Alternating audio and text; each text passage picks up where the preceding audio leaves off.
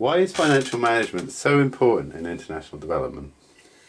Along with programme management, financial management is a key part of any non-profit organisation and is part of the structure of the organisation's sustainability. Having good financial processes and systems is important to attract donor funding and to make sure that the organisation has good impact with its programmes. What is your favourite bit about working in this sector? Well, it's, it's when I visit programmes internationally and see the difference that organisations have made in the lives of communities elsewhere in the world. Um, and then also to kind of remember that the financial management has been a part of that process in making those programmes so effective. What will participants of the course learn? The IMA course covers all the basics of finance, budgeting, planning, cash flow, internal controls, uh, interpreting all, all the financial statements that are produced. And it's a key part of what's needed to have better decision making in an organisation.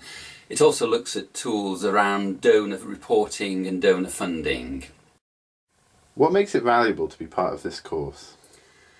It helps non-financial people to build their own organisations and indeed partner organisations financial capacity. The aim of the course is really to give a good working knowledge about finance to the participants. One participant said to me about the course that they weren't afraid of the figures anymore and I think that sums up what the course is all about. Who is the course for? The course is really for people who are working in international development, for directors, managers, programme staff, fundraisers, in fact anybody really who needs a good grounding in, in finance and financial management. Why do you enjoy communicating to participants the uses of financial management? I like it because I think um, participants learn new techniques and tools and they're ones that they can use as soon as they get back to their own organisation, so very practically based. I also like the way that they grow in confidence in the way that they talk about finance during the course of the, the week and also then when they go back to their organisations will be able to do that to different stakeholders they, that they interact about finance with. Do you remember any maths teachers who had an influence on you? Oh, well, um, yes, there was one who I do remember called Mr. Barker, who was very enthusiastic and keen. And he taught us for maths and he also taught us for football. And at that stage, I liked football very much. And so I think I learnt the maths because he was good at teaching us football as well. Um, what I try to learn from him, I think, is, is that sense of enthusiasm and excitement about training and hopefully I've put that into the, the courses that I'm involved in.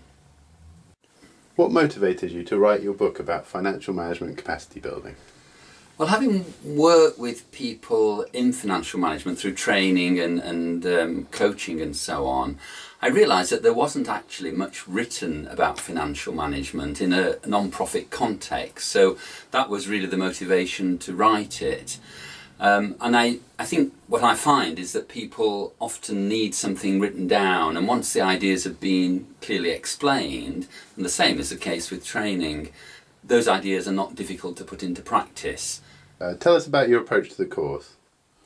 The course is participatory, and we have activities and exercises for participants to uh, experience and practice with. The course itself is very practical and it gives people hands-on experience of the various things that we do. We try to use real-life examples, um, actual organisations, non-profit organisations, uh, budgets and so on, uh, as part of the activities that we do. I hope to welcome you to one of our Finance for Non-Finance Managers courses in the near future.